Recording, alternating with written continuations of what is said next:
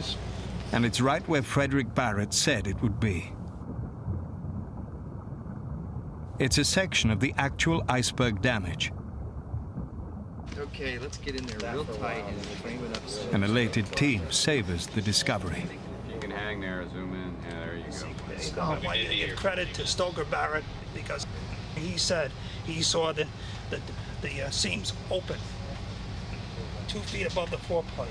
And that's where we are.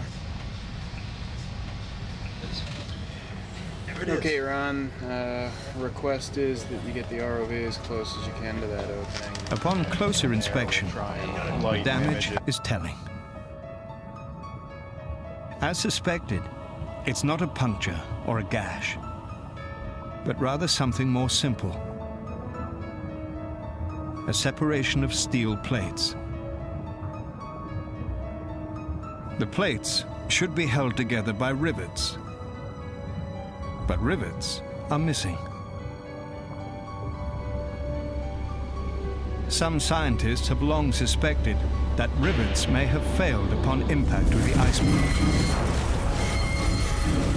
When the iceberg came and actually hit the ship, at the seams, the rivets could be failing. And by failing, we essentially feel that what would have been happening is the heads of the rivets would have been popping off. Okay. Once they pop off, the seams can open, you can have water coming in. Okay. The question is, why would those rivets fail? Start right at this depth. Yeah. Before Magellan is called back to the surface, it scours the ocean floor looking for loose rivets.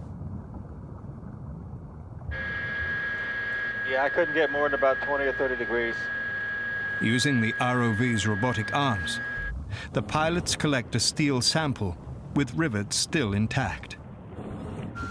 See if I can hold still and let it clear up a little bit. Maybe get it under and just hold it up. The sample is carefully placed in a retrieval basket for the long journey back to Ocean Voyager. Seven's on the cage, bending it. Backing up. Tight. Okay, you ready to pick them up? All right, secure lights and hydraulics. Okay, lights, hydraulics down. Got enough boom. The following day, Weihs begins his work by thoroughly photographing the specimen.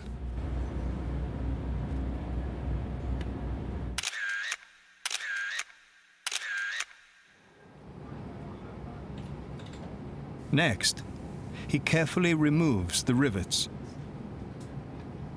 He'd like to know why they might have failed.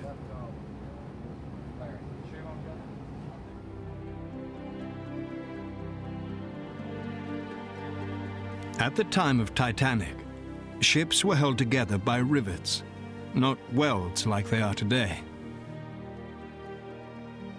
It's estimated that more than 3 million rivets were used to construct Titanic. Each beam, each piece of hull plate was attached to the ship by rivets.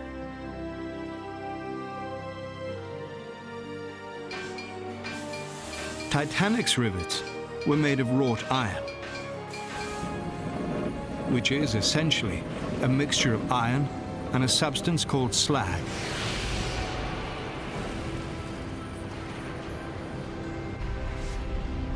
At the time, it was difficult to monitor the mixture of slag and iron. And if too much slag was added to the mix, it could actually weaken the rivets. Investigators would like to know if this is what happened in Titanic's case.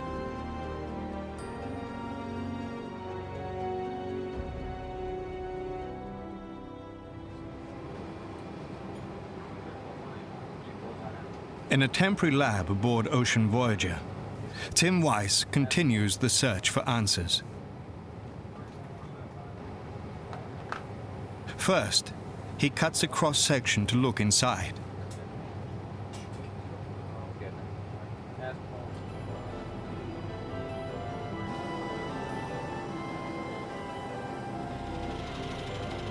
Weihs collaborates with material scientist Tim Foecke.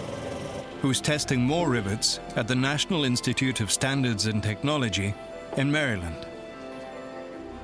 It was Foecke's past work that prompted further study of the rivets. We sectioned two failed rivets that were recovered in 96, and looking at them metallographically under the microscope, you could see that the rivets had too much slag. So what we wanted to do in 1998 was to get more rivets from different places on the ship.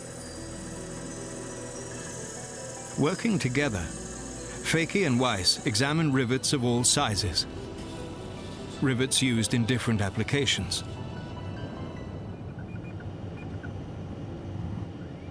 They're measuring the quantity of slag, which is seen under the microscope as dark streaks.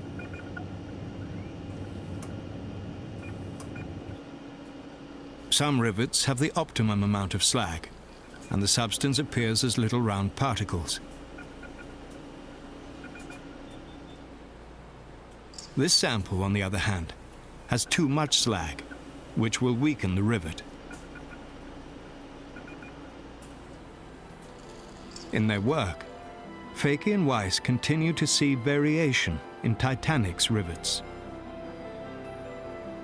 We've looked at rivets that are from various locations on the ship. Overall, 5 to 10% may be having a problem on the ship. We've looked at 30 out of 3 million rivets. So um, we're never going to be able to say definitely, but the trend seems to be there. The more rivets we look at, it doesn't go away.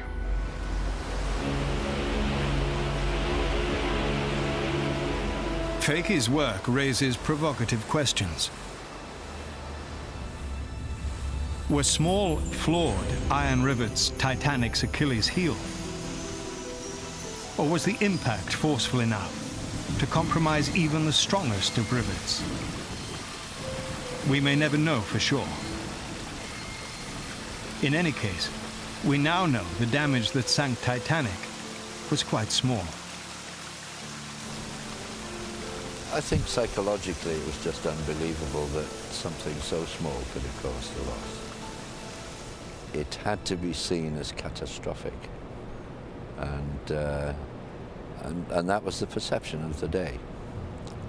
Um, now, with, with hindsight and looking at the evidence, it's entirely possible for ships to be lost with, with quite small holes that can't be controlled.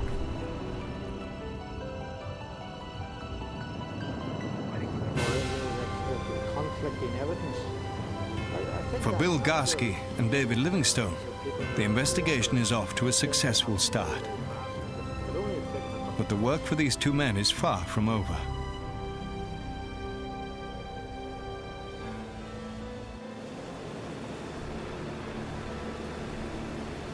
The weather for the expedition so far has been very cooperative.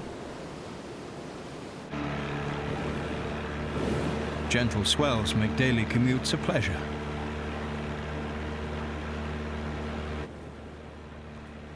These motorized boats, called Zodiacs, are a critical link between ships at sea. Today, expedition leader George Tulloch heads to Ocean Voyager to discuss the weather that lies ahead.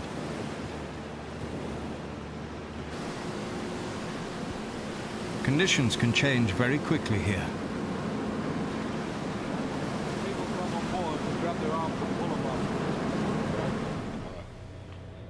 Hurricane season has officially begun, and the Titanic site lies well within a known hurricane zone.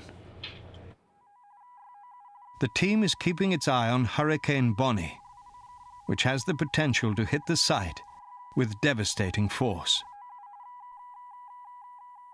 See, this has shifted. Before it was coming. Bonnie will have to be watched closely. Has it going much further north? Deep below the surface, the conditions here are still ideal. For the past several days, Paul Mathias and the crew of Nautile have been capturing the most detailed photographic record yet of Titanic's stern. I'm going to sharpen up the, uh, the exposure. I'm going to open the shutter. Nautile has the ability to move very, very precisely over the seabed. And while we're moving back and